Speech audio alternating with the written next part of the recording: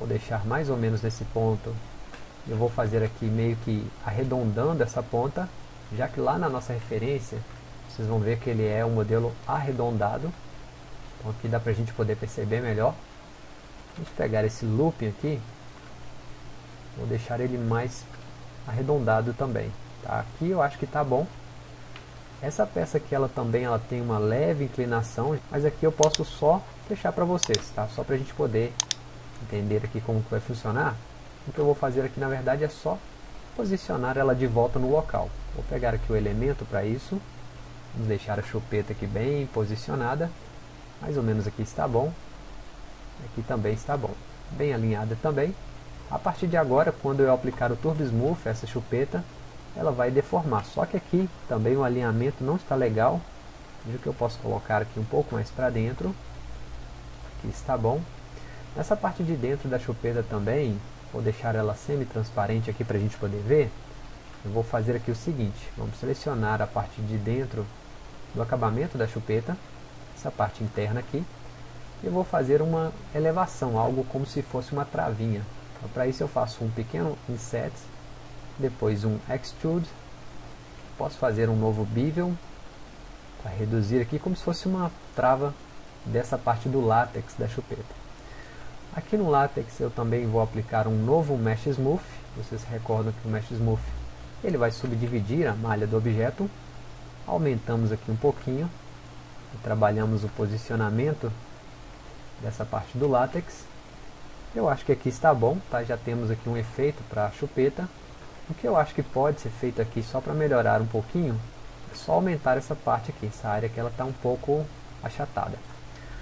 Na parte aqui do, da argola, eu também quero fazer algo um pouquinho diferente. Então vou selecionar aqui através de um looping, vamos dar um Ctrl Polygon, fazemos um Ground, aplico o modificador FFD 3x3, selecionamos os Control Points da base e descemos e aumentamos o escalonamento. Só para ficar mais diferente aqui o modelo, e assim eu acho que vai ficar um pouquinho melhor. Para finalizar esse modelo, eu vou aplicar um Turbo Smooth nessa parte. Veja que ele vai suavizar aqui com o Turbo Smooth. Eu acho que aqui está bom. Nessa parte de baixo aqui do nosso Edit Poly, eu vou aplicar um Collapse All, ou Collapse To aqui vai fechar só um. Vou dar um Collapse All para colapsar todos os modificadores. Aqui o mesmo procedimento. Collapse All aqui na verdade, vou fazer um Ctrl Z, porque ele acabou aplicando o Turbo Smooth também. Então, eu quero aplicar somente aqui sem o Turbo Smooth. Agora sim eu faço um Collapse All. Um Collapse To aqui também vai, vai funcionar da mesma forma. Mais um Collapse To. Ok.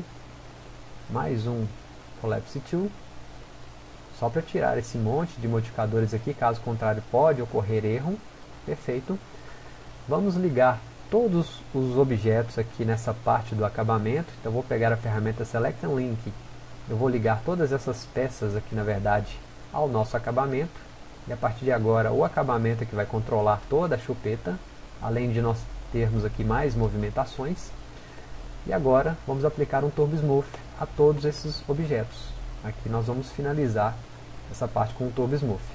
Esse Turbo Smooth aqui eu vou deixar com duas interações e já podemos começar aqui um extra que seria a parte de renderização. Para renderizar esse objeto, a primeira coisa que eu preciso é de um cenário. Então vamos criar aqui um plane, pode ser um plane simples com um segmento somente.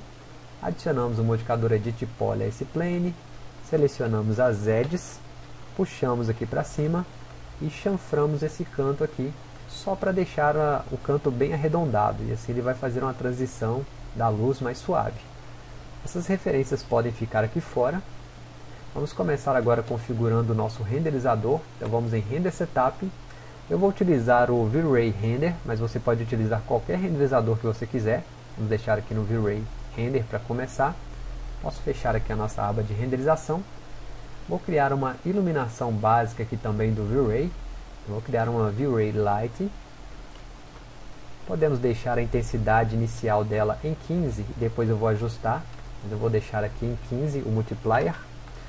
E vamos fazer aqui a nossa primeira renderização, somente de teste aqui para ver o que, que está acontecendo. Observe que já aparecem os nossos materiais básicos, porém ainda não temos nada muito relevante.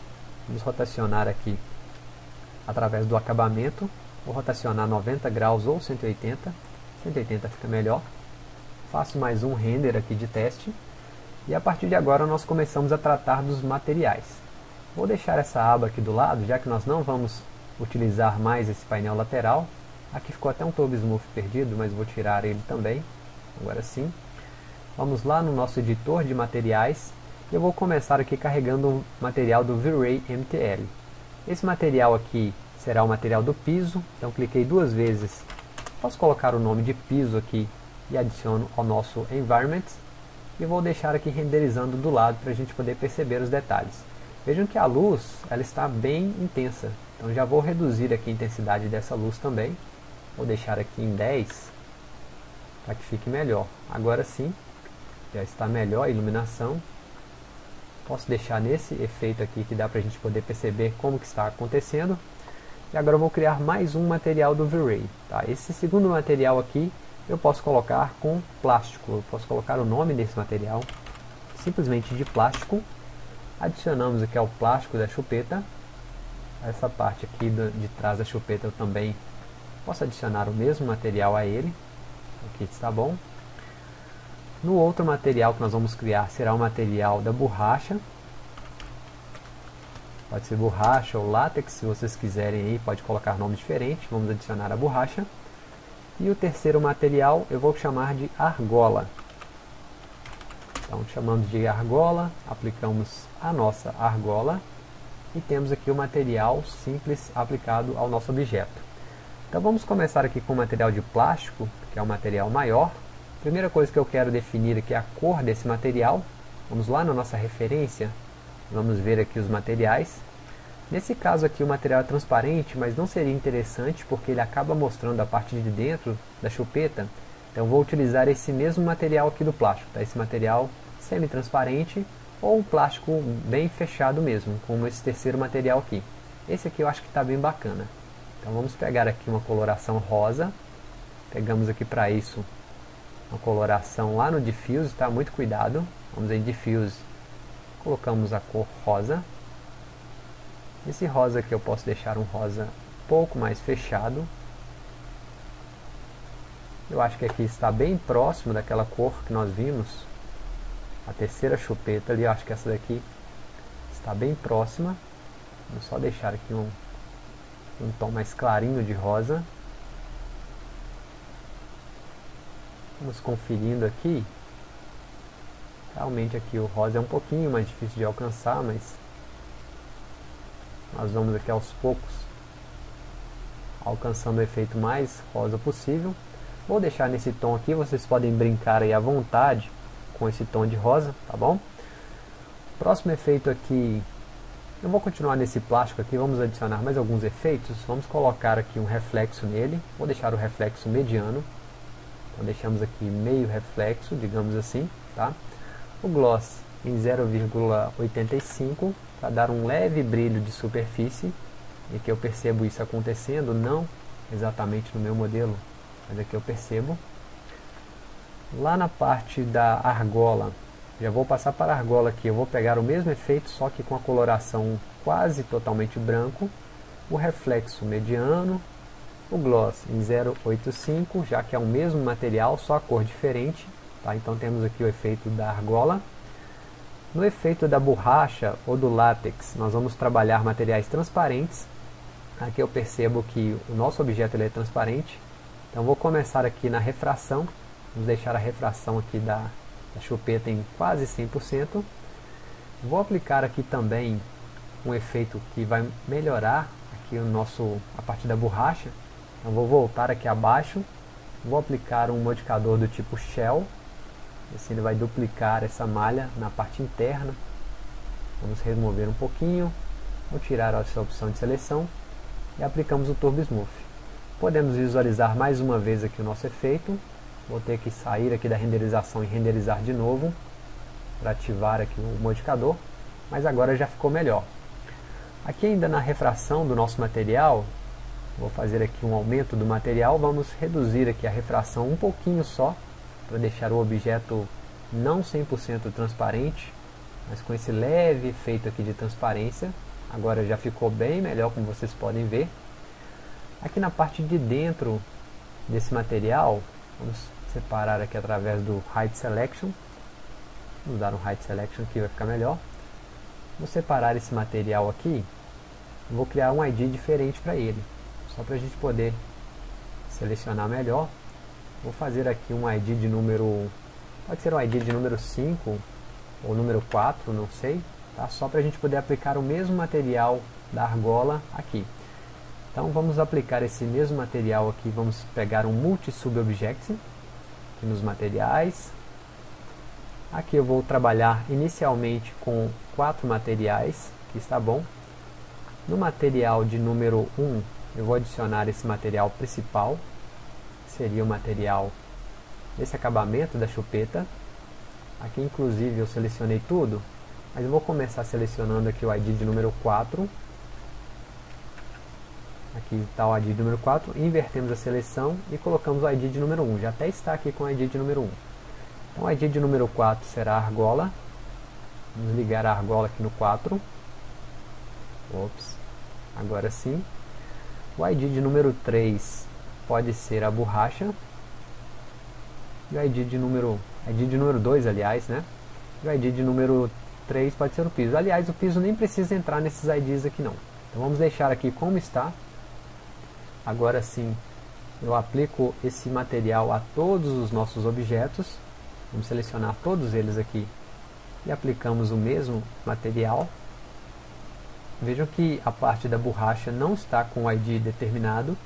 Então vamos pegar aqui o elemento dessa borracha e vou determinar aqui o ID de número 2, que está ligado aqui no ID de número 2. Então colocamos aqui 2 e agora sim, aplicamos o Shell e o Turbo Smooth. E veja que a chupeta já ficou muito melhor com esse acabamento interno ali, tá? A parte da argola ela também mudou o material, então tenho que determinar o ID dela. Vamos selecionar aqui o elemento para isso. Vamos aplicar o ID de número 4 aqui no caso, ou pode ser o ID de número 3 também, aqui movemos para o 3. Eu coloco aqui 3, perfeito. Esse ID de número 4 aqui ele pode sair, do nosso cálculo. E aqui eu vou só selecionar novamente a parte interna e vou mudar para o ID de número 3. E assim vai ficar certinho. Agora sim, vamos ver o resultado final aqui da nossa chupeta, né? Vamos fechar esse renderizador para isso. Vou melhorar um pouquinho aqui as luzes. Vou colocar uma luz direta para começar vou criar aqui uma nova luz de rebatimento aqui no fundo. Só que essa luz aqui eu vou deixar num tom amarelado, pode ser um tom amarelo bem clarinho, e a intensidade um pouquinho menor, vou colocar em 5 aqui para iluminar o fundo. Vamos posicionar a chupeta também aqui acima da nossa área, vou deixar ela bem alinhada aqui acima, mais ou menos aqui está bom. Eu tenho que deixar aqui todas as áreas de contato dela encostadas no piso eu vou regular isso bem devagar. Perfeito. Agora eu posiciono ela na horizontal e vamos rotacionar a argola aqui no eixo local. No eixo local aqui fica mais fácil de posicionar essa argola. Aqui eu vou só colocar ela sobre o piso. Perfeito. Posso voltar aqui para View. E agora vamos fazer o nosso render. Bom pessoal, espero que vocês tenham gostado de mais essa videoaula, tá? A partir de agora vocês podem somente ajustar a iluminação, fazerem alguns ajustes aqui de acordo com o que vocês quiserem. Por exemplo, o material, eu acho que ficou um material muito escuro, eu posso voltar aqui no material simplesmente e deixar ele mais claro. Posso deixar um tom aqui, um rosa mais chamado rosa bebê, né, um rosa mais clarinho, e vou mudando a tonalidade. Se eu quiser criar objetos diferentes, a única coisa que eu vou fazer aqui é selecionar, arrastar copiando, na verdade aqui fica bem mais fácil assim, né? e aqui eu vou só criar uma cópia desse material. Então faço aqui o ajuste primeiro, depois eu crio uma cópia desse material, não dessa forma aqui, né, selecionando tudo e copiando. E nesse novo material que eu vou mudar a tonalidade do tom de rosa, posso colocar aqui um tom de azul, pode ser um azul bebê também. Adicionamos lá na nossa chupeta a toda a seleção. E agora temos aqui duas chupetas, uma azul e uma rosa. Espero que vocês tenham gostado de mais essa videoaula então, fechamos esse assunto por aqui. Em breve nós traremos novidades e não se esqueça, você que ainda não é inscrito no nosso canal, já aproveita para se inscrever, ativar as notificações e também deixar aquela força através do seu like. No mais, eu deixo um grande abraço a todos e bons estudos.